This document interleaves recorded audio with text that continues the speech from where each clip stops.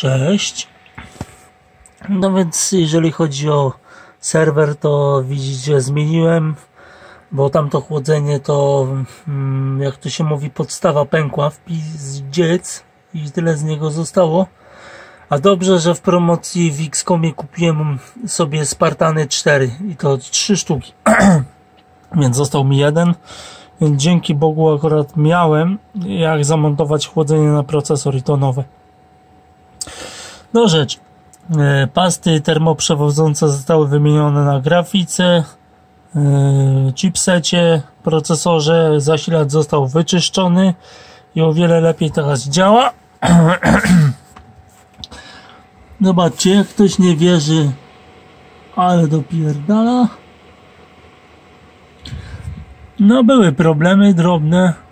Na przykład pojawiła się kość e, RAM Goodrama 4 giga DDR2, bo tutaj DDR2 wychodzą. Tu zobaczyłem, że jest kolejne podpięcie na wentylator, więc wpierdzieliłem tutaj e, Big Quieta 80. No i będzie to działać. Została wyczyszczona obudowa odkurzaczem jeszcze dodatkowo. No działać to działa. Ładne, fajne wentylatory nawet. No a tam to chłodzenie Intela to się rozleciało w jasną cholerę. Ciekawie te yy, są właśnie elementy rozmieszczone i podłączone. Ciekawie, ciekawie. Więc widzicie, Spartan 4 idealnie wchodzi. Kurde, dobrze, że ja to miałem. Tu jest Intel Core yy, dwurdzeniowy, tylko właśnie nie wiem jaka to jest generacja nie chce mi się ogólnie sprawdzać.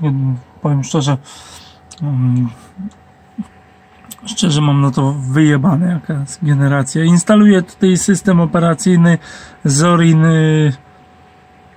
Zorin 16 core 64-bitowy, bo skoro już jest 4 GB to już uznałem, że pociągnie to ten trup jeszcze. A teraz zobaczymy sobie jak się system ładuje.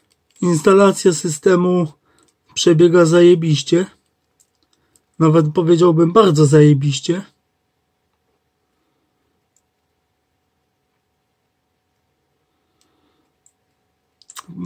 Kolejny film będzie jak już to się skończy.